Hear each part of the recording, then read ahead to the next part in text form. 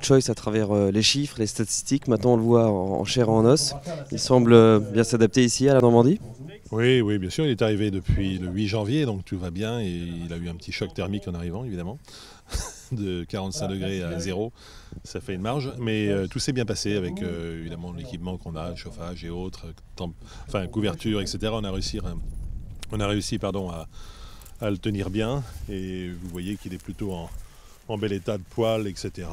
il est pommelé, enfin tout va bien. Donc euh, restez en bonne forme et prêt à affronter la, saison de monde qui va être bien chargée euh, dès la première semaine de février. Il y a une balle remplie oui, rempli, oui, on a, on a limité le cheval, puisque c'est un cheval qui fait la monte euh, en Australie, évidemment, et qui avait 111 juments à saillir en Australie, qui a donc terminé récemment, et là, il va saillir 100 juments. Et euh, nous sommes aujourd'hui à 97 juments, donc avec quelques gens un peu indécidés, et les choses vont, les choses vont se faire tout à fait. Parmi lesquels 16 euh, euh, de l'élevage à Gacan, notamment Zarkava. Oui, effectivement, c'est un cheval qu'on ne va pas avoir ici pendant des années. Il reviendra peut-être l'année prochaine, peut-être pas. Donc l'opportunité était cette année de l'utiliser avec des, bonnes juments, en tout cas des, opportunités de devenir des bonnes juments, puisque Zarkava n'a pas encore produit de chevaux sur le champ de course. Et donc euh, Charetta non plus, puisqu'elle est toujours à l'entraînement, Sagawara vient de rentrer, etc.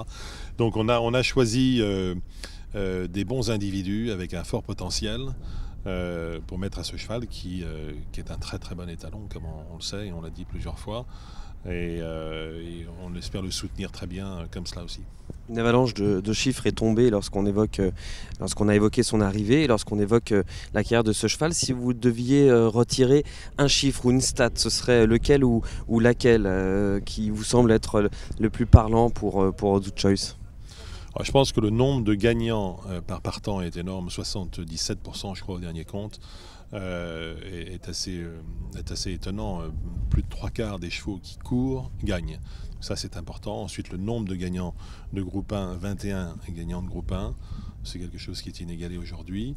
Ça le sera certainement euh, en, temps, voulu, je dirais, avec d'autres étalons qui sont aussi excellents. Il y, a, une grande compétition entre les étalons, donc, euh, mais c'est un cheval qui a fait ses preuves, qui, est donc prouvé comme étant un, cheval à peu près certain euh, en termes de performance. Donc, voilà, ces, deux-là sont importantes. C'est toujours un réel plaisir de voir les chevaux euh, dans un autre environnement, euh, avec un, physique un petit peu différent aussi, parce que quand les chevaux sont, chevaux de course, euh, bah, ils sont un petit peu taillés au laser, et ils ont, c'est vraiment des, athlètes de haut niveau. Et là, on les voit un petit peu enrobés, avec une, certaine prestance, et on sent qu'ils ont changé de métier.